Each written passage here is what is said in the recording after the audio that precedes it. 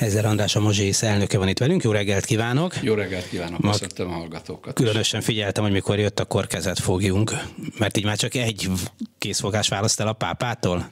Hát igen, pontosan pontosan annyi. De azért bevallom, hogy reggel lezuhanyoztam. Tehát. Jó, azt gondoltam, hogy mosott kezed azóta, de csak készfogás volt, de hogy akkor, mint a vicc, mondják, akkor engem már csak egy készfogás választ el, a, vagy mint a Karinti féle játékban, egy készfogás választ el a pápától. Hát sok mindenkitől egyébként, tehát tényleg múltkor beszélgettem a barátaimmal, hogy itt az elmúlt nyolc évben azért nagyon komoly vendégeink voltak, mert akkor egy készfogás választ el, vagy választja el a Merkel asszonytól is például, ugye, mert hogy vele is találkoztunk, és nagyon sok komoly, magas szintű vendége volt a Mazsihisznek az elmúlt nyolc évben. A pápa azért nem a Mazsihisz vendége volt, talán, bár ki tudja, szóval, hogy hogy alakul ki egy ilyen találkozó, ez a aki a, most mondjuk azt, hogy a pápát nyilván van erre egy jelentős külügyi apparátus, a ötlete, a magyar vendéglátók mondják azt, hogy ezeket és ezeket kellene meghívni. Szóval hogy működik egy ilyen találkozó előkészítése? Visszatérve tényleg nem a Mazsisz vendége volt, de, azért mindig van egy de, ugye tavaly még a Covid előtt akkor már szóba jött, hogy tavaly lesz az eukarisztikus Igen. kongresszus, és amikor ez szóba jött, és amikor hát nagyon sokan szerették volna, hogy a pápa itt legyen a kongresszuson, akkor mi is kaptunk egy, egy megkeresést, hogy hogy biztos, hogy segítené a pápának a, a részvételi szándékát, hogyha a zsidó közösség is szeretettel fogadná őt, és szeretettel várna, úgyhogy mi meghívtuk a pápát, tehát ilyen, ilyen formában azért egy, egy picikét, egy százalékban a mi vendégünk is volt. Úgy legyen. Szóval hogy megy egy ilyen Hogyan jön a szervezés? találkozó előkészítése, ki, ki, ki, kinek mit mond, mit kér? Ugye én, én, én a, a, a saját felekezetünknek a dolgairól tudok beszámolni. Persze. Az biztos, hogy végig egy viszonylag szoros kapcsolatban voltunk a Bíboros úrral és a titkárságával, tehát személyes kapcsolatban, és közösen határoztuk meg, hogy a zsidó közösséget hogyan képviseljük.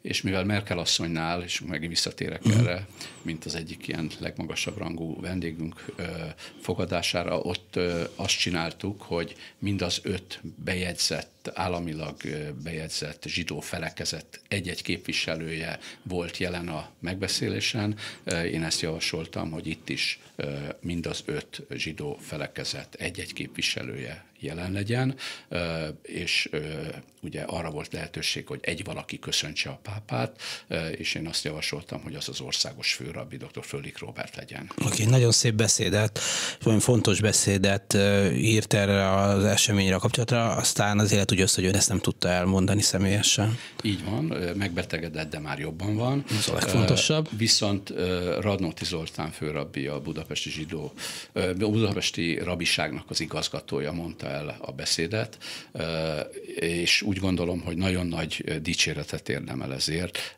Egyrészt a beszédének az elejére beletett két mondatot, amit elmondott olaszul is és magyarul is, ahol a dr. Főrik Robertnek minél gyorsabb gyógyulást és javulást kívánt. Ez nagyon elegáns volt a részéről, és úgy gondolom, hogy nagy alázat kell egy rabinak ahhoz, hogy egy másik rabi beszédjét elmondja.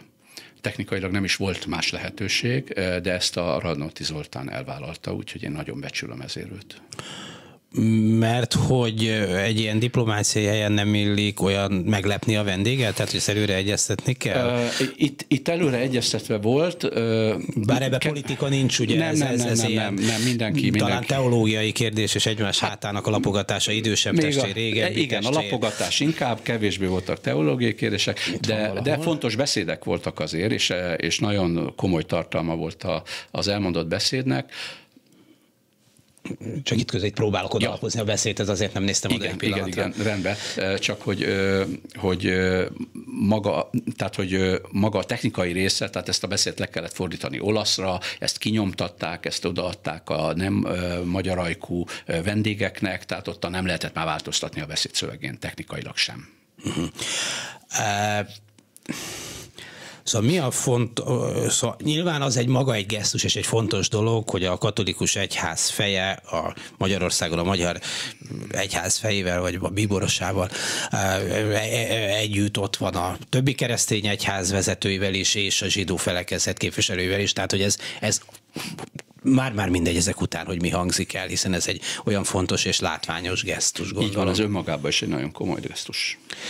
A katolikus egyházfők hosszú ideje igyekeznek látványos és jó kapcsolatot ápolni a zsidó közösségekkel. Talán János Pál, második János Pál Páva volt, aki átment a Trastevere túloldalára a zsinagógába, ahol mondták is neki, hogy hát pár száz méter, de nem tudom, 2000 év kellett hozzá. Bár ha jól emlékszem, amikor a pápát megválasztják, utána a menet az elsétált ott a régi római zsidó negyed elő, vagy elsétál hagyományosan, de hogy azóta azért ez, ez nem először fordul elő, és hogy a, a, a, a pápák hagyományosan kinyilvánítják, hogy mennyire elítélik az antiszemitizmust. Uh, nagyon fontos, és tulajdonképpen a, a nagyon nagy különbség az 1938-as és a mostani eucharisztikus kongresszus között pontosan ez volt, hogy közte volt egy olyan vatikáni állásfoglalás, a Nostra Aetate, amelyik a többi egyházhoz, a többi valláshoz való viszonyát a katolikus egyháznak azt egészen más alapokra helyezte.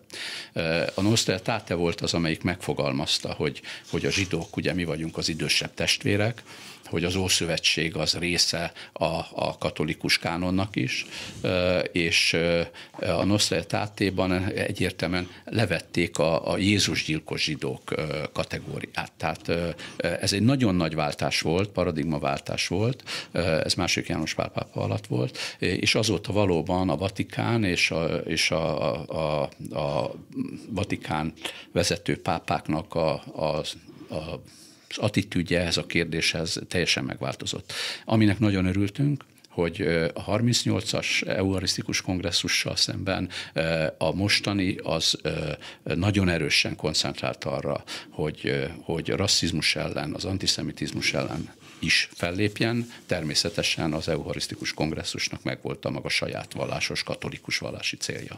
Jó, az egy másik dolog, ugye most kiderült, hogy 38-ban éppen aznap lépett hatályba az első zsidó törvény, a 38. évi 15-ös törvény, amikor az eucharisztikus kongresszus utolsó napja volt, tehát hál' Istennek azért a világ sokat, sokat fordult azóta, de hát ezer olyan történetet tudunk, hogy bizonyos protokoláris és állami és diplomáciai szinten mindenki azt mondja, hogy a legnagyobb barátok vagyunk, minden rendben van.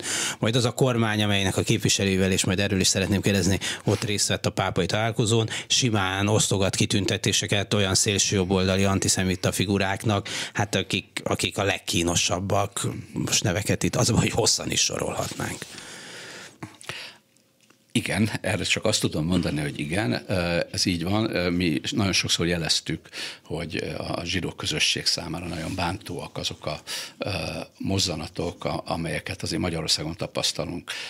Csináltunk egy, egy nagyon komoly anyagot, egy komoly kutatást Han Endréjékkel egyébként, az ő szakmai irányításukkal, segítségükkel a magyarországi antiszemita incidensekről, és erről egy jelentést készítettünk, ez egy kb. száz oldalas dokumentum, és abban pontosan benne vannak ezek az esetek is, amelyeket mi egy új, amelyek számára mi egy új kategóriát létesítettük, és azt mondtuk, hogy ez az úgynevezett közéleti antiszemitizmus részét képzik, és úgy gondoljuk, és az adatok is azt mutatják, hogy az a fajta zéró tolerancia, amit a miniszterelnök Orbán Viktor meghirdetett, az még nem valósult meg Magyarországon, és rengeteget kell tenni ennek érdekében, hogy ebből, ebből az antiszemitizmus drasztikus csökkenését érezzük a kormányzati emberek azt szokták mondani, hogy mégiscsak Magyarország Európában az egyik legbiztonságosabb hely a zsidó közösség számára, mert például Franciaországban vagy Németországban, biztos más országokat is lehetne sajnos mondani, hát effektíve fizikai inzultusok, de nem, egy, nem egyszer sajnos gyilkosságok is érik a zsidó közösség tagjait a közösséghez való tartozás miatt. Hát Magyarországon ilyen szokták mondani, hogy kopogjuk le alulról fölfelé, mit én fán, de ilyen, ilyenre szerencsére nincs példa. A kormányzati nyugati emberek ezt mondják, és igazat mondanak, valóban Magyarországon nincsen fizikai atrocitás, vagy egészen elvétve zsidó személyek ellen, nincsen fizikai atrocitás, vagy egészen elvétve zsidó intézmények ellen. Van egy saját monitoring rendszerünk, az például 2019-ben, ha jól emlékszem, egy darab fizikai atrocitást jelzett, és 2020-ban nem jelzett fizikai atrocitást zsidó személyek ellen. Tehát ebben a vonatkozásban ma a magyarországi zsidóknak a helyzete sokkal nyugalmasabb, mint a nyugat-európaiaké, ahol hát tényleg ottan aztán mindenféle egészen szélsőséges dolgok történtek, egészen gyilkosságig. Hát ez az egyik indok, amikor azt mondják, hogy nem szabad Magyarországra menekülteket beengedni, mert ugye ez az egyik legfontosabb témája az Orbán rezsimnek, mert a menekültek mit művelnek, tehát a zsidók is örüljenek, hogy itt az Orbán van hatalmon, mert nem engedik be a menekülteket, akik majd halomra erőszakolják elsősorban őket. Jó, nyilván, hogy, hogy a, a kommunikációban minden elhangzik az égvilágon. Én úgy gondolom, hogy a Mazsihisz 2015-ben, amikor először jelentkezett a menekült kérdés, amikor még azért minnyáján nagyon kevés információval rendelkeztünk, és itt megjelent egy, egy nagy tömeg, ugye a keleti pályaudvar, stb. stb akkor én arra emlékszem, hogy, hogy mindegyik egyház és felekezet néma csendben volt. Tehát nem tudtuk lekezelni a helyzetet. Ugye minden egyháznál megvan az emberek szeretete, a segítése, a karitatív mozgalmak, stb. De nem tudta senki kezelni ezt a helyzetet. És mi is, a, a Mazsisz is nagyon sokáig gondolkozott, hogy, hogy, hogy milyen álláspontot foglaljon el ezzel, és kérdeztek újságírók bennünket, és hát mit tudom, egy-két hétig nem tudtunk értelmes választ adni. Végén azért kialakítottunk valamit, ami három három pilléren áll. És, és, és azért vagyok erre büszke, mert én szerintem ez, ez a mai napig is vállalható, sőt, ez még, még valamilyen szinten még Ferenc pápa gondolataival is szinkronban van. Tehát az első e, ebből a pillérből, ha elmondhatom a hármat. Az Aztán első... visszatérünk a pápa látogatásra még, jó? Jó, persze, okay, persze. Három pillére. Tehát most három pillérnél tartunk, tehát, és 2015, tehát ott tartunk, hogy akkor fogalmaztuk ezt meg, és azért most már hat évet eltelt az ott. Az első, hogy minden államnak joga van a határait meg megvédeni. Tehát ez, ez az államoknak a feladata, ez az ő kompetenciájuk. Hogy ezt hogyan teszik, az szintén az ő kompetenciájuk. Erről lehet véleményt mondani, hogy most az a jó, hogy kerítés, vagy katonával, vagy, vagy határvadásszal. Jó, vagy nem az egyházaknak kell feltétlenül eldönteni valóban. Így van, ebben nem akarunk beleszólni. Tehát az államnak a kompetenciája és a feladata, hogy a saját határait védje meg. A második pillérünk az az, az volt, hogy hogy miközben megvédjük a határokat, aközben a, az emberi méltóságot, az emberi jogokat mindenki vonatkozásában nagyon szigorúan be kell tartani. Tehát, hogy ez egy nagyon fontos része a második pillérünknek. És a harmadik pillér pedig az volt, hogy, hogy ezt a konfliktust, ami egy óriási konfliktus ma az egész világon, Európában, mindenhol, nem szabad felhasználni gyűlöletkeltésre. Amikor ezt így megfogalmaztuk, akkor, akkor vagy, vagy amióta ezt megfogalmaztuk, azóta én úgy gondolom, hogy, hogy, hogy ez a három pillér, ez áll, és, és ma is vállalható.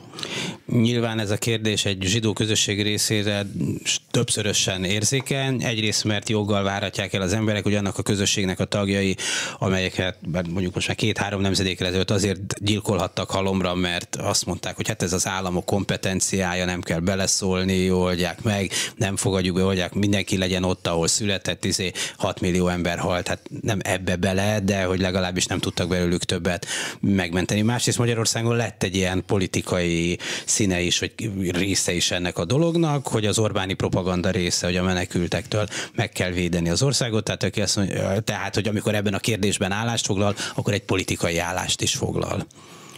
Aki foglal. Ez így van, és ezért mindig nagyon érzékeny a, a mi helyzetünk, mert hogy mi igyekszünk a, a közvetlen politikától, a pártpolitikától távol tartani magunkat, de, de saját értékeinket viszont megfogalmazunk, és azt elmondjuk, és van, amikor ezek a értékek közelebb vannak a baloldalhoz, és volt már olyan is, amikor a jobb oldalhoz volt közelebb a, a mi értékrendszerünk. Az, hogy próbálnak távolságot tartani a közvetlen pártpolitikától, ez lehet, hogy bizonyos szempontból egy hiba, nem? Mert aki meg nem akar annyira távolságot tartani a közvetlen pártpolitikától, annak szépen hullik a manna. De most készpénz és átutalás, és nem tudom én minek a formájában. Hát aki a hatalomhoz közel, közel tartja magát, értem, és én. hajlandó egy hűbéresi pozíciót elfoglalni, az nyilvánvalóan, hogy, hogy, hogy meg lesz jutalmazva. Ilyen volt mindig a világrendje. Hmm. Szám, szám... Mindig, nem?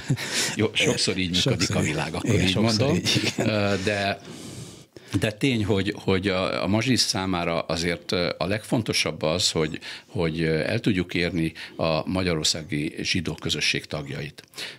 És nekünk erre kell törekedni, és ezt mi semmi mással nem tudjuk elérni, mint hiteles és értékközpontú működéssel szóba hozta már Merkel német kancellár látogatását. Igen. Van egy ilyen, hát talán több mint városi anekdota, hogy ott volt egy pillanat, amikor úgy lehetett gondolni, hogy Merkel és ön kettesben, vagy a tolmácsal kettesben, vagy mit tudom én, hogy működik ez ilyenkor maradnak, és akkor mondhat egy-két olyan dolgot neki a magyarországi viszonyokra, amit nem feltétlenül akart volna nagyobb közönség előtt, de hogy valahogy ezt a kormányzati emberek megtudták, és úgy alakították a viszonyokat, hogy ne, ne maradhassanak, maradjunk így ebben négy szem közt a német kancellárral. Tehát mint minden városi, városi legendának ennek is van alapja, de azért az egész most már ilyen legendává kezd terebélyesedni. Ezt csak arra mondtam, hogy a legenda szerint ön politikailag nem elég megbízható az Orbán rezsimnek mert hogyha megbízható lenne, akkor azt mondják, hogy flangáljon annyit Merkel, amennyit csak Azért akar. mondom, hogy legendává kezd terebélyesedni, mert hogy, hogy ha én akartam a Merkel azt mondani, hogy szerettem volna vele négy szem közt is beszélni pár mondatot, a, a négy szem közti beszélgetés az a, abba én nem, nem csak a politikusokat zártam ki, vagy zárom ki, hanem, hanem a többi tárgyaló partnert is. De én úgy gondolom, hogy, hogy, hogy a Mazsisz elnökének erre van lehetőség, és ezt a lehetőség, ezzel a lehetőséggel élni kell. De Tényleg nem vannak olyan, pattant egy valaki Vannak olyan kérdések, amelyek bizalmi kérdések, és amelyeket nem, nem szabad publikálni. De a kérdésem arra irányult, hogy akkor önt mégse tartották elég megbízhatónak, hiszen megakadályozták valahogyan. De nem, ez a legenda részét senki nem akadályozott meg semmit. Volt egy, volt egy szituáció, ami megakadályozta azt, hogy a Merkellen négy szem közt még beszéljek egy másfél percet körülbelül, tehát azért ennek a mélységét is látni kell, hogy másfél perc alatt mit lehet, amíg a kocsi kikíséri az ember, és akkor e, e, egy külügyi államtitkár pattant oda. Én később ezt megbeszéltem vele egyébként, hogy tudott-e ő erről. Én elmondtam neki, hogy ő, ő akkor engem megzavart egy ilyen beszélgetésbe. Ő azt mondta, hogy ő elnézést kér, nem szándékos volt, és én ezt elhittem neki. Jó, hát hinni tudni kell. Hát ez a hivatás. Oké. okay. most azon gondolkozom, csak most ugye mindjárt hírek lesznek, hogy hogyan osszuk be az időt, hogy pápára térjünk, vagy ilyen, ilyen ö, aktuális dolgokra. Szóval nyilván a, magyar kormány nemzetközi megítélése szempontjából azért számít, hogy mondjuk a zsidó közösség vezetői hogyan nyilatkoznak róla, róluk, eh, mit mondanak. Ilyen szempontból volt nyomás önön, önökön, hogy, hogy, hogy mit mondanak, hiszen nyilvánvalóan kihasználják ezt politikai dolgokra, és most kiderült, hogy Orbán Viktorék följelentették Brüsszelt a pápánál, hogy, hogy el akarják venni nem tudom mit. Szóval, hogy, hogy azért nyilván ennek van valamiféle politikai tétje is. Közvetlen nyomást mi így nem érzünk, közvetetten pedig természetesen érezzük, hogy, hogy kevésbé vagyunk jó pozícióba a magyar kormánynál. Tehát nagyon sok esetben azt érezzük, hogy, hogy valamiért kimaradunk dolgokból, képviseletből. Most akár pénzosztásokból is, de képviseletből is, tehát hogy néha egy picit érthetetlen dolgok történnek körülöttünk, tehát ezt érezzük. Hát miért érthetetlenek? Hogy? Miért érthetetlenek? Hát azért, mert én úgy gondolom, hogy ma Magyarországon a legnagyobb zsidó felekezet az a mazsihisz, számszerűen is, de egy történelmileg beágyazott, a magyar társadalomba szintén nagyon erősen résztvevő és beágyazott felekezetről van szó, és hogyha bárhol a zsidósággal kapcsolatos kérdés merül föl, akkor a mazsihisz nem lenne megkerülhető. És mi azt érzékeltük, hogy az elmúlt időszakban nagyon sokszor megkerültek bennünket. Hogy most itt a pápa látogatásra lefordítsam ezt a dolgot, el tudom képzelni, hogy van olyan zsidó szervezet, amelyik hát kezesebb a kormányjal, vagy a kormánynak megfelelő véleményt képvisel, akkor miért nem úgy alakítják a dolgot, hogy ők találkozzanak a pápával, a pápa meg nem biztos, hogy annyira jártas itt a magyar zsidó belügyekben, hogy kiszúrja, hogy ez a fickó, ez, ez meg az ennek. Szóval... Nyilván, hogy a pápa nem ezzel foglalkozik, de hát mi úgy alakítottuk, hogy ők is találkozzanak a pápával, hiszen amikor összeállítottuk a, a zsidó felekezetek résztvevőit, akkor egy fő a mazsisztől, az a mazsisz elnök az én voltam, egy fő az ortodoxia elnöke Deutsch Robert, egy fő az Emiktől, Köves Slomó, egy fő a Simsalom progresszív közösségtől, és egy fő a Bétorin progresszív közösségtől. Ez öt fő. És tudom, erre mit válaszolt a pápa, és ki van a boltban, ha mind itt vannak. Nem, nem, nem, és egészen más reakciót tapasztaltunk. Egész egyszerűen Köves Lomó és Deutsch Deutsch Robert nem jött el a pápa, pápával való találkozásra. Meg, meg voltak híva, és nem mentek el? Hát nem, hogy meg voltak híva, ott volt a nevük a széken, és nem voltak ott. Biztosan megvolt az oka, én csak azt tudom, hogy nem voltak ok. Hmm. Szegény pápa pedig már készült. Biztos szomorú volt, de egy nagyon szép ajándékot adtunk a pápának, és ezzel igyekeztük kompenzálni ezt a szomorúságát. E, igen. Lehet, hogy a pápa azért jártas ezekben a viszonyokban. Néhány hónapja Rómában például meglátogatta Brook Editet, a kitűnő írót, Olaszországban élő olaszul író írót, aki Magyarországról, jól emlékszem, Tiszakarádról származik, és aztán a deportálás után túlélve a táborokat nem jött haza Magyarországra, és elképesztő regényeket írt, és egy hát egy nagyon szép találkozó volt ott köztük, egy nagyon megható találkozó, ahol demonstratíve egy holokauszt áldozattal találkozott, bocsánat, a pápa. Tehát ugye ezzel a kérdéssel nem feltétlenül a magyarországi zsidók belügyeivel, de, de ezzel az ügyel szemmel láthatólag törődik, tehát ez fontos neki. Abszolút, nagyon fontos neki. Ugye én, én, én a pápával már harmadszor találkoztam. Igen, én kétszer a Vatikánba, akkor mint a Zsidó Világkongresszus delegáltja egy, egy delegációval, ami érdekes, kérdezik, hogy hogy zajlik ez le. Ugye az, az egyik találkozónk az egy abszolút protokoll találkozó volt, ott a Zsidó Világkongresszus elnöke beszélt a pápához, a pápa beszélt beszélt hozzá, mi pedig ott voltunk a delegáció tagjaként, ahogy szokták mondani, kicsit cinikusan biodíszletnek. A második találkozó viszont jó volt, mert ott, ott lehetett kérdezni a pápától, tehát lehetett vele beszélgetni, úgyhogy ott már nem emlékszem, migrációval kapcsolatban valami kérdést tettem fel neki, és ő válaszolt nekem. Tehát kvázi én beszélgettem a pápával, ami párbeszédet folytattam vele, ami, ami mindenképpen jó. Édesanyám mondta, amikor először mentem hozzá, hogy, hogy becsült meg magad, édesfiam, mert a családba te vagy az első, aki a pápával kezet fogsz. Helyzer András, a Mazsihisz elnöke a vendégünk, és a pápa látogatás kapcsán, de hát persze sok minden más dologról is beszélgetünk vele. Most Báder Tamás elmondja a híreket, és utána folytatjuk tehát Helyzer Andrással a Mazsihisz elnökével. Helyzer András a Mazsész elnöke a vendégünk, és beszélgetésünk egyik apropója a pápával való találkozása. Ezt csak nagyon profán módon tudom megkérdezni, hogy, hogy jó fej a pápa. Egy barátom hallgatta a tévében, azt mondta, hogy de. Tudom, hogy ez se szokás így nyilvánosan mondani a katolikus egyház vezetőjére, de, de hogy még akármilyen protokolláris egy ilyen rendezvény, főleg ha háromszor találkoztak, mert hogy milyen a pápa közelről, haló? Uh, yeah Szóval erre lehet nagyon profánul is válaszolni, de ha lehet egy picit hosszabb történettel, uh-huh. bőven beleférünk minden bullshit.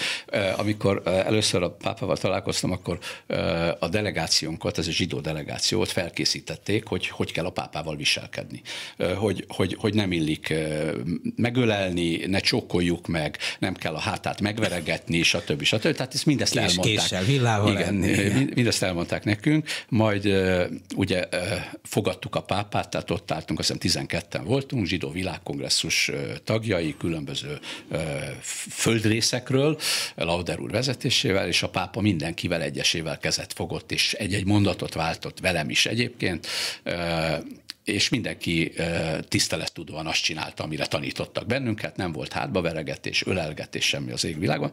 Majd odalépett egy pici alacsony fiúhoz, emberhez, már férfihez, a delegációnk egyik tagjához, egymásra néztek, és mindent, amit tanítottak, az ellen cselekedtek. Elkezdtek sikítozni egymásnak, átölelték, megcsókolták egymást, hátba veregették egymást. És egy latin-amerikai. És, és, ugye, és ez lezajlott, utána ment tovább fegyelmezetten a pápa a többiekhez, én akkor odasonforráltam ehhez a kisemberhez, és kérdeztem, hogy te mi történt, tehát mi, mi, mi volt ez a jelenet? Hát kiderült, hogy ő az argentin zsidókat képviseli, és azt mondja, hát a pápával mi együtt fociztunk tíz évig a grundon. És ez az egész annyira emberi volt számomra, hogy, hogy az, a, a, a pápa nekem innentől kezdve ilyen nagyon-nagyon emberi és nagyon-nagyon nagyon barátságos, ahogy mondtad, hogy de cuki vagy nem tudom micsoda, és, és egy nagyon komoly ember. Tehát azért ezt tegyük Persze. hozzá, hogy, hogy miközben ennyire emberi és ennyire közel tud kerülni emberekhez, egy nagyon komoly ember, aki, aki hát egy olyan értékrendszer szerint próbálja vezetni ezt a tényleg hatalmas szervezetet. Ugye 1,2 milliárd katolikus hívő van a világban, és ő a csúcsvezetője ennek. Tehát azért ez nem egy akármilyen És a főnöke is hol van tőle. Hát igen, és nyilván talán éppen a latin-amerikai gyökerei miatt is, ahol a felszabadulás, vagy felszabadítás teológiája, tehát hogy a világot meg kell változtatni, és az elnyomorítottak, a szegények érdekében akár cselekednie is kell az egyháznak, és nem elmagyarázni, hogy az nekik itt miért jó. Nyilván másképp gondolkozik a világról, vagy akár a katolikus egyház szerepéről is, mint jó néhány, jó néhány kollégája. Igen, a világot meg kell változtatni, vagy ahogy mi szoktuk mondani, a világot jobbá kell tenni. Ráfér. Ugye a politikai találgatások jó része arról szólt a találkozó előtt, hogy milyen a viszony Orbán és a pápa között. Tatatá. Most nyilván egy ilyen nagyon protokolláris eseményen, ahol azért ennyire profik vesznek részt, mindenki is újba tudja tartani magát, tehát tud, tud vigyázni magára. Nyilván az egyéni érzelmeket nehéz kifejezni, de, de éreztek ebből valamit, hogy, hogy, hogy ki kivel, hogyan, mit gondolhat róla, vagy, vagy már ilyen szinten ilyen nincsen? Ugye a, a mi találkozónk a Ferenc pápával az körülbelül egy 35 perces találkozó volt. Ez alatt ezeket mi nem éreztük újságból kapjuk a híreket, nem, nem volt szó politikáról, nem volt szó erről, nem is nagyon utalt a pápa ezekre a dolgokra. Ezen a találkozón, ezen a 35 perces találkozón csak a zsidó felekezetek képviselői voltak, hogy itt volt a többi keresztény egyház. Van, tehát ugye tehát úgy itt volt, voltak az evangélikusok, a reformátusok, a nem tudom. Görög keletiek, unitáriusok, mindenki. Iványi Gáboréktól nem volt senki? Ö, nem volt ott, nem.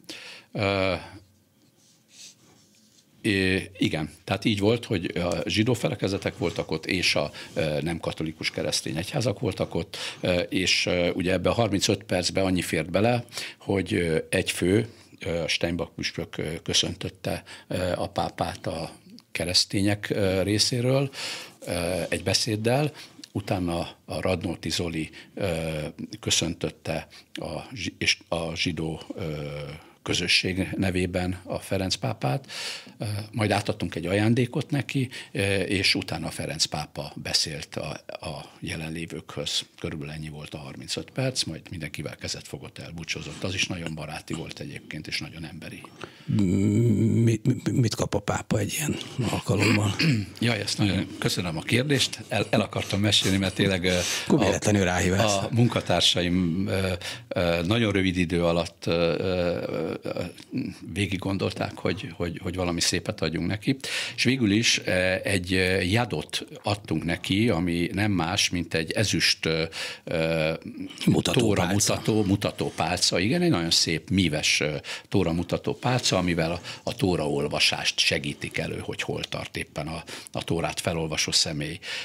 Ezt az ezüst tóra mutató pálcát egy olyan családban született ötvös művész csinálta, akinek a szülei holokauszt túlélőek, tehát ilyen formában a holokauszthoz is kapcsolódott, de mindezt a, a mi művészeink, iparművészeink, grafikusaink belehelyezték egy sütői mészkőbe, egy ilyen vörös szín, gyönyörű sütői mészkőbe, egy üveggel lezárták ezt az egészet, és így egy 8 kilós ajándék oh. változott. Nem lesz a, a repülőgépen? Nem tudom. Nem, nem, nem sokkal volt több a súlya, mint a reformátusok által a pápának adományozott Vizsói Bibliának a, a másolata, mert az is egy ilyen 6-8 kilós darab volt. De szerintem valahogyan meg fogja oldani Ferenc pápa. Azt mondta, a, a, pont, pont, pont egy ilyenre volt szükségem, mondta, amikor megkapta. Pont nem, ezek, látták, hogy erre az a helyzet, hogy ezek bekerülnek aztán a Vatikáni Múzeumban, tehát persze. azért ennek van rangja egy persze, ilyen persze. dolognak, és ez egy olyan egyedi műalkotás volt, amit adtunk, aminek azért van egy szimbólumrendszere, mert ugye magával az ezüst óra mutatóval mi a Tórára utaltunk, ami ugye Mózes öt könyve, és az Ószövetségi Biblia, és ez közös kincsünk a, a katolikus egyházal, a keresztényekkel. A, a a sütői kő, amiben ezt belehelyezték nagyon szépen, az, az a jeruzsálemi köveket akarta szimbolizálni, és ugye Jeruzsálem szent városa mind a kereszténységnek, mind a zsidóknak. És még az iszlámnak is. És az iszlámnak is, csak nem voltak ott. És, és a harmadik szimbólum, hogy mindez egy ilyen nagyon míves fehér dobozban volt elhelyezve, ugye azt kellett nekem ott kinyitni 8 kilót itt tartva az egyik kezemen. Nehéz szakma. És ezzel a fehér doboz hozzal ezzel a nagyon, nagyon erős fehér színnel pedig, ugye így, így mondtam ott el a, a pápának és a közösségnek, akik ott voltak, hogy a Ferenc pápa gondolati tisztaságát akartuk valamilyen módon visszaigazolni. Úgyhogy nagyon szép volt ez a kis szimbólumrendszer. Ugye a zsidóknál mindig így szimbólumokba gondolkozunk, és ez, ez nekem nagyon tetszett. Reméljük a pápának is.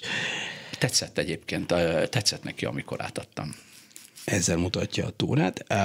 Szóval került az előbb Iványi Gábor, ugye Iványi Gábor egyháza hát finoman szólva, és nem barátja ennek a mostani rendszernek, hogy fordítva ez a mostani rendszer nem barátja Iványi Gábornak, az ő egyházának és annak a nagyon fontos szociális munkának, amit őt végez, és talán két hete ült itt, itt Iványi Gábor, és úgy kérdeztem tőle, hogy a hogy kell ezt mondani, bevett egyházak közül, nagy egyház, szóval el, elismert, a magyar állam által elismert egyházak közül kiállt ki mellettük, és akkor azt mondta, hogy tulajdonképpen a mazsi hiszen kívül nem sokan.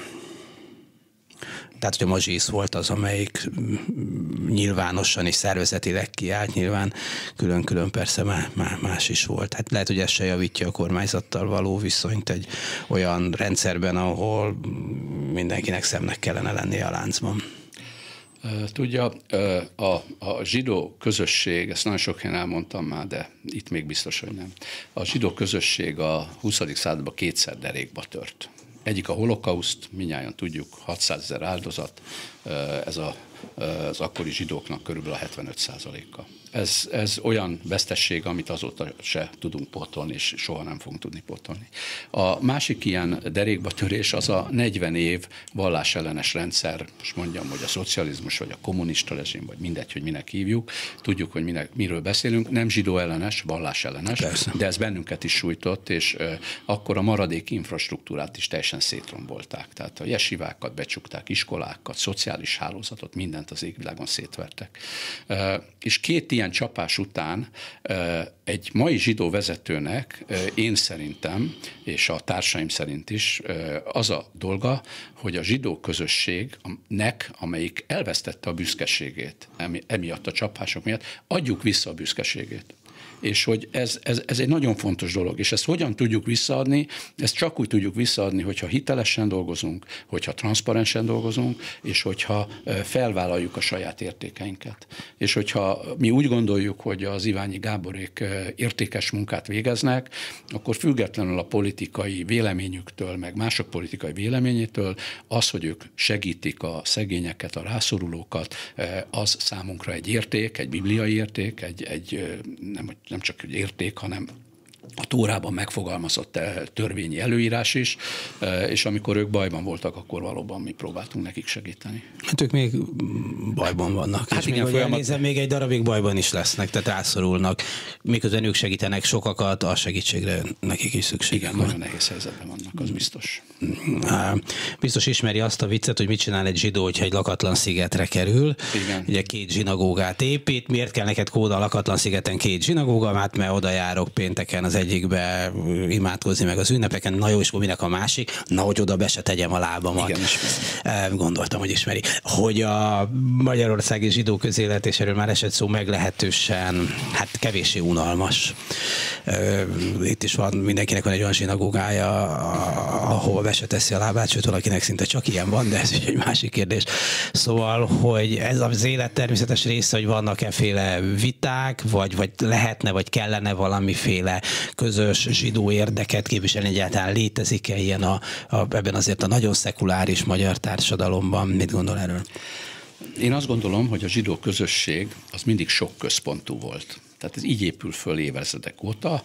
Van egy-egy rabi, egy-egy okos ember, köré néhány család gyülekszik, és, és hisz abban a rabiban, és amit az a rabi mond. És lehet, hogy 30 kilométerrel odébb van egy másik nagyon okos ember, aki egy picit másképp magyarázza az írásnak a dolgait, de benne egy másik közösség bízik, és akkor a kettő között azonnal ki tud alakulni egyfajta konfliktus. Kérdés, hogy jó ez a zsidóságnak, és, és nekem az a véleményem, hogy hogyha azt nézzük, hogy 2000 éven át egy hazátlan pici népcsoport ezzel a stratégiával, a sok központúságával fönn tudta tartani magát, és megmaradt az utókornak, és ma újra államot tudott alapítani, én azt mondom, hogy ez a sok központúság és a sok központúságot kísérő viták, azok nem feltétlen rosszak. És hogyha egy picit... Hát lehet, hogy evolúciós szempontból ezt szabad így nézni, nyilván nagyon leegyszerű, csak akkor végül is van értelme a dolognak, csak hát... Oké, okay. és akkor most menjünk ide mhm. Magyarországra, mhm. mert hogy erről beszéltünk. Tehát, hogy, hogy az, hogy van vita és van, van, van küzdelem szervezetek között, az önmagában nem probléma, én úgy gondolom. A probléma az mindig ott kezdődik, és ott vadulnak el a dolgok, amikor egymás erőforrásaiba bele akarunk nyúlni. És én nem fogok mostan se személyeskedni, se szervezetet említeni, de hogy én úgy érzem, hogy, hogy az elmúlt időszakban a, a vitákat ez vadította el, mert a Mazsisz nagyon sokszor azt érzékelte, hogy más zsidó felekezet vagy felekezetek a mi erőforrásainkba bele szeretne hát mert, nyúlni. Mert, mert Ez a is jelent. lehet szétosztani, nem? Tehát, hogyha azt gondoljuk, hogy nekik is joguk van az élethez, és szükségük van, nevezzük erőforrásnak, hát ezt lehet újraosztani többé-kevésbé, nem? Ami De csak van. nem, ne, azt mondom, hogy nem nem csak ezt lehet újraosztani. Én, én azt mondtam, mert hogy azért most volt három vagy négy egyeztetésünk a többi zsidó felekezettel, illetve nem, mind az öttel, tehát hogy én meghívtam az emiket is, az ortodoxiát is, a két reformközösséget is, és leültünk egy asztalhoz. Minden, oda mindenki elment. Oda mindenki elment, és mm. mondom, hogy azt hiszem három ilyen alkalom mm. volt az elmúlt időszakban és, és én, én azt mondtam nekik, hogy, hogy ne a meglévő tortát próbáljuk megszabdalni, mert annak semmi értelme nincsen. És ne csak pénzről beszéljünk ám, lelkekről is beszéljünk. Itt Magyarországon van százezer zsidó, és a százezer zsidónak csak egy töredékét, egy kicsiny töredékét tudjuk megszólítani, mind a hányan vagyunk. Hmm. Tehát, hogy, hogy próbáljunk meg valahogy úgy dolgozni, hogy az a torta, hogyha így szimbolikusan beszélünk meg, az egész egyszerűen legyen nagyobb és hogyha ha normálisan dolgozunk, és nem egymást próbáljuk kinyírni, és egymástól elvenni a különböző erőforrásokat, akkor lehet, hogy ezzel a normalitással sokkal több lelket tudunk megszólítani, és végül is ez a fő cél, hogy a, hogy a magyarországi zsidóság, mint érték fennmaradjon a, a, a jövő századnak is. Hogy hozzak szóba még egy dolgot, hogy azért sok jó dolog is történik, például a Rombach utcai zsinagóga felújítása. Zárójel, mondhatnám azt, hogy családilag érdekelt vagyok benne, mert a nagyapám dédapám ott Igen, volt elég sokáig rabbi, már 40 évvel a születésem előtt meghalt, úgyhogy ebben szintén nincs érdemem. De mindegy, de így azért jobb, sokkal jobban figyelem, tehát hogy ott a mostanában szokás zsidónak nevezni, a Rombak utcába egy, egy nagyon szép új zsinagóga közösségi tér nyílt. Na de hát több zsidó ettől nem lesz, és azért nagyon gyakran, mondjuk a nagy ünnepek kivételével, hát még az a tíz ember sem jön össze, aki szükséges lenne ahhoz, hogy a zsidó szokások szerint imádkozni lehessen. Így van, és akkor még hagy fokozzam a helyzetet, a nemzetközi helyzetet, hogy, hogy most a Covid közben, után még rosszabb a helyzet. Jó, a COVID. Tehát a, a COVID még a korábbi állapotot is szétverte. Igen, de az mondjuk egy, egy olyan dolog, amivel Legyünk nem lehet ezt tenni. Igen, ami el, és elmúlik. Elmúlik, de nekünk kell valamit tenni, mert hogy, hogy a COVID a, a pici közösségeket is meggyengítette, és nem csak a zsidóknál, én beszélek más egyházaknak a vezetőivel, képviselőivel, mindenhol ugyanez Persze. a helyzet. Na szóval visszatérve, nem lesz több zsidó, hogyha több zsinagógát nyitunk. Ez egy üzenet is másoknak, akik akik nem tudom én 50 zsinagógát szeretnének nyitni az elkövetkezendő időben Budapesten. Tényleg az lenne a dolgunk, hogy, hogy a zsidó közösségből és most én a, a szélesen vett, tágan vett zsidó közösségről beszélek, a százezer zsidó közösségből, minél több e, ember tudjuk valamilyen szinten e, a mi struktúránkhoz kapcsolni, a mi aktivitásunkhoz e, kapcsolni, hogy részt vegyenek ebbe a munkába, és vigyék tovább azt a tradíciót, amelyet mi is ápolunk. Mi lesz a, itt a, a rumbakban? egyébként, ja, bocsánat, rumbakról beszéltünk, a, a rumbakban ezért aztán a Mazsisz úgy döntött, hogy nem egy hagyományos állandó közösséget akar létrehozni, mert, mert azok az emberek, akik zsinagógába járnak, azok megvannak. Attól, hogy most a rumbak van, attól nem lesz több olyan emberünk, aki zsinagógába akar rendszeresen járni, nem csak egyszer megnézni azt a gyönyörű épületet. Ezért ott egy, egy, egy alternatív rendszert próbálunk kiépíteni, nem egy egyszerű dolog, ahol olyan típusú péntekestéket vagy szombatot csinálnánk, ami valamiért akár odavonzhat olyan zsidókat, és akár nem zsidókat is egyébként, mert mindig szeretettel várunk nem zsidókat is az Isten tiszteleteinkre, tehát látogathatóak, nem tilos bejönni. Tehát ö, oda tudunk mondani olyan zsidókat, akár zsidó értelmiségieket, akik azt a programot szívesen megnézik, meghallgatják. Hogyha egy, egy hagyományos Isten tiszteletet követően egy remek előadó a judaizmusról, vagy az épp a heti szakaszról valami egészen frappáns előadást tud tartani, az, az odavonzhatja az embereket. Hogyha ha bizonyos időközönként angol nyelvű istentiszteletet csinálunk, az a, a turistákat, a befektetőket, az izraeli diákokat odavonzhatja. Tehát, hogy próbálunk valamilyen alternatívát kialakítani, és akkor talán természetes módon kialakul majd a rumbaknak egy olyan köre, akik nem a többi zsinagógákból kerültek kerültek ellopásra, hanem, hanem új emberek, új arcok, akik a rumbaknak az intellekt, a rumbakban zajló intellektuális élmények miatt szívesen járnak majd oda. Ugye most jön a egyik legfontosabb zsidó ünnep Jan Kiper, vagy Jon Kipur holnap, ha jól emlékszem, holnap, Igen, holnap, holnap este, este jön be. be. Ez egy ilyen bűnbánó ünnep, gyá, gyászünnep, ami egy alkalom arra is, hogy mindenki végig gondolja, hogy, hogy mi mindent tett, mi mindent tett rosszul, miért kell bocsánatot kérnie. Hát, ma van ilyenje, most itt nyilvánosan is elmondhatja.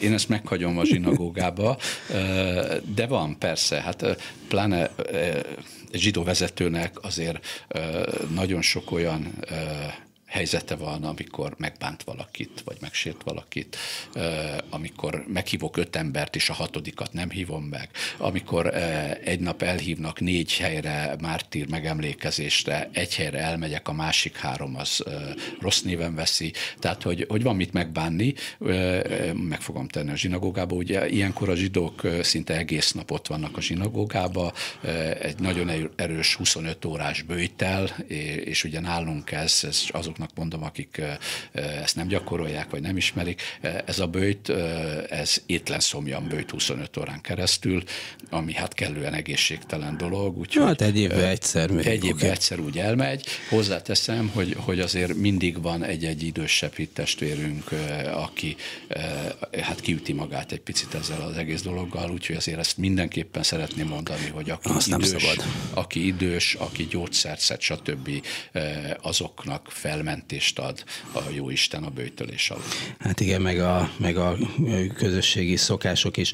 Ugye egy időben szokás volt azt mondani, hogy Magyarországon vagy Budapesten micsoda zsidó reneszánsz van, iskolák, templomok sorra e, nyíltak, és nem csak a közvetlenül 90 utáni időkre gondolok, mert akkor nyilván ez, ez természetes volt, de aztán, mint hogy ez a lelkesedés elfogyott volna, nem? Tehát, hogy kevesebb gyerek van, már nem jön annyiak, már, már, már nem, és egy ilyen, mondjuk a, a hagyományos zsinagógai közösségi életet élő emberek száma hát, hát nem nőtt, vagy szóval, hogy, hogy a fiatalok egy jó része nem találódik meg, ami nem jelenti az, hogy nem követik a zsidó hitet sokan, csak nem feltétlenül ezekben a, az intézményes keretekben, ami mondjuk gondja maga módján a keresztény egyházaknak és a saját híveikkel. Persze, tehát hogy ez még csak nem is zsidó sajátosság. Ugye ebbe bele kell törődni, vagy, vagy lehet ezzel valamit, vagy ilyen a világ most? Ugye a világban van egy nagyon erős szekularizáció itt Európában különösen